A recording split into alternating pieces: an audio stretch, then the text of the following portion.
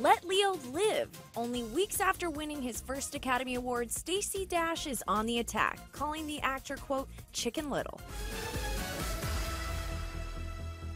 Yes, Chicken Little. Here's why. At February's Academy Awards, Leo said, quote, Climate change is real. Let us not take this planet for granted. Now, weeks later, Dash is taking issue with Leo and his claims about climate change during his Oscars acceptance speech. The 49 year old Fox News contributor took to her blog Friday to refute Leo's assertions that the environment is in danger, saying, quote, He reminds me of Chicken Little, the bird who disturbed everyone with her foolish alarm. Before making a speech the world would hear, he should have double checked his facts. Dash added, There are people 10 miles from Leo starving.